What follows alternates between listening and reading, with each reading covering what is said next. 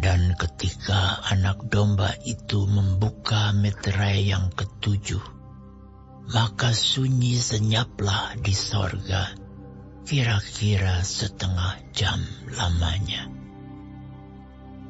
Lalu aku melihat ketujuh malaikat yang berdiri di hadapan Allah, dan kepada mereka diberikan tujuh sangkakala.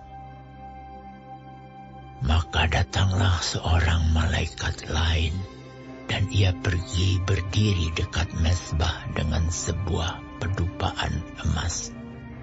Dan kepadanya diberikan banyak kemenyan untuk dipersembahkannya bersama-sama dengan doa semua orang kudus di atas mesbah emas di hadapan takhta itu. Maka naiklah asap kemenyan bersama-sama dengan doa orang-orang kudus itu dari tangan malaikat itu ke hadapan Allah. Lalu malaikat itu mengambil pedupaan itu, mengisinya dengan api dari mesbah, dan melemparkannya ke bumi maka meledaklah bunyi guruh disertai halilintar dan gempa bumi. Dan ketujuh malaikat yang memegang ketujuh sangkakala itu bersiap-siap untuk meniup sangkakala. Lalu malaikat yang pertama meniup sangkakalanya dan terjadilah hujan es dan api bercampur darah dan semuanya itu dilemparkan ke bumi maka terbakarlah sepertiga dari bumi dan sepertiga dari pohon-pohon dan hanguslah seluruh rumput-rumputan hijau. Lalu malaikat yang kedua meniup sangkakalanya. Dan ada sesuatu seperti gunung besar yang menyala-nyala oleh api dilemparkan ke dalam laut. Dan sepertiga dari laut itu menjadi darah.